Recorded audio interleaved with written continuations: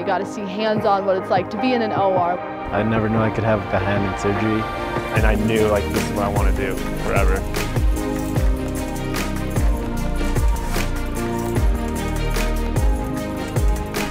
It has been an incredible week.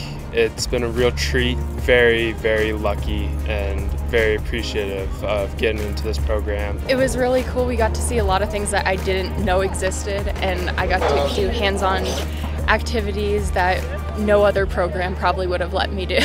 I would say my favorite part was probably uh, going into the OR. Definitely going into the OR. Going into the OR and watching a surgery. Being able to talk to the surgeons, kind of watch them do their thing was so cool. Which something you normally don't get to do until you're like further on with your medical career. Uh, I really like the biomotion lab because you gotta like see how the bones work, like when somebody moves their leg. Surgical skills lab, we worked with cadavers. I loved working with the cadavers and it's truly like very unique to this valley. My favorite part of the week was the PRP lab. Working with blood was just really cool. Before I came to this program, I was thinking about being a surgeon and leaving this program. I've never been so sure of anything in my life. It's definitely what I want to do for the rest of my life and I can't wait.